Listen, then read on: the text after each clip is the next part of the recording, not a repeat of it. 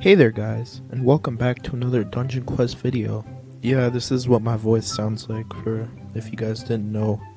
But today I'm going to be telling you 7 Dungeon Quest YouTubers that quit making content on Dungeon Quest.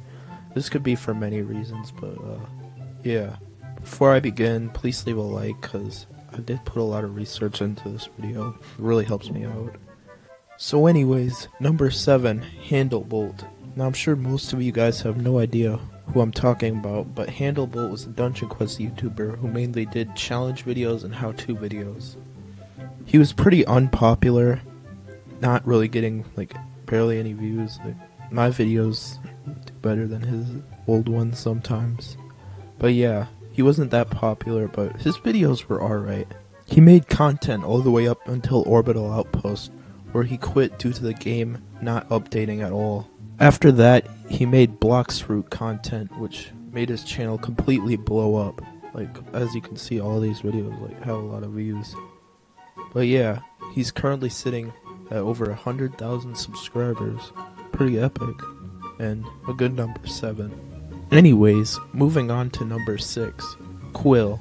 I'm sure most of you guys know who he is. Like, he was a pretty popular Dungeon Quest YouTuber that mainly uploaded non-voice videos like rare drop videos and leak videos and stuff like that. He had around 8,000 subscribers and was growing at a pretty fast rate. Around a month ago, his channel was completely hijacked and he lost all access to it. The hackers got his channel terminated and pretty much screwed him over. So like, you search up Quill, like, there's none of his videos and that's like, that's not normal because like, if you searched up me, like you'll see that you'll see all my videos and stuff. And since he's a smaller content creator, he can't really get the attention of YouTube, so he kind of screwed over in that situation. Quill was one of my bigger inspirations for this channel. He was like my 20th sub, I think. But, yeah. Anyways, moving on to a story with a better ending. Number 5, Rektway. Rektway was a Dungeon Quest YouTuber that pretty much made any type of Dungeon Quest video, from challenges to how-tos. Like, he was very popular back then. He had like, what, 50,000 subs when quitting. He quit during boss raids due to the fact that it was very lame and like, can't really make a lot of content. And the game was dying back then, so yeah. After that, he played various other games such as Booga Booga and Superpower Fighting Simulator. Currently, he's sitting at 400,000 subscribers, which is very impressive, and his videos get a really good amount of views, like a million, another million. Anyways, number 4, Kira Berry. Now, she hasn't really quit making content on Dungeon Quest, but just like content in general. The last the last Dungeon Quest video she uploaded was around 4 months ago. I think she'll probably make like content on the game when it updates, but when does that ever happen? She currently sits with over 100,000 subscribers and has been making content since the very beginning. She's also the head moderator, if you didn't know already, but wouldn't that be cool to have mod powers, being able to like ban people and troll people? Oh, that'd be fun. Anyways, moving on to number 3, Snow Roblox. At one point, he was the most popular Dungeon Quest YouTuber. He quit during Volcanic Chambers due to there being no good content ideas. He had around 40,000 subscribers at the time and he switched to making All-Star... Uh, he had around 40,000 subscribers at the time, but he switched over to All-Star Tower Defense videos when they started hitting the algorithm.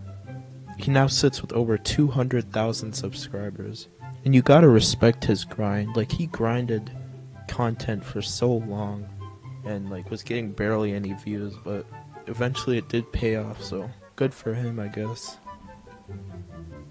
Anyways, number two, Tanqr. Yes, D- Tanqr was a Dungeon Quest YouTuber. He was actually the most popular one for the longest time. Quit making content on the game around boss raids due to there being no good video ideas.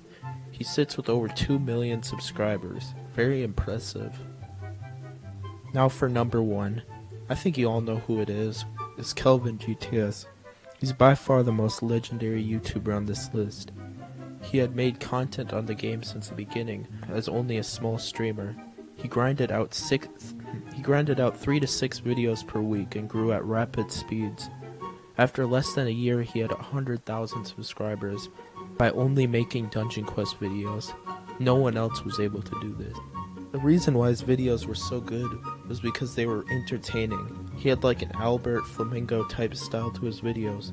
He also had a close connection to his fan base by doing daily streams. He quit the game during Orbital Outpost when his anime fighting simulator videos started blowing up. He now sits with an impressive 700,000 subscribers. Anyways, that's all for today's video. Please make sure to, you know, like and do all that stuff, but yeah. Before I end this video off, I wanted to say that I'm doing a new series. It's like Noob to Godly, but different, I guess. It's original to Dungeon Quest. I think you all will like it.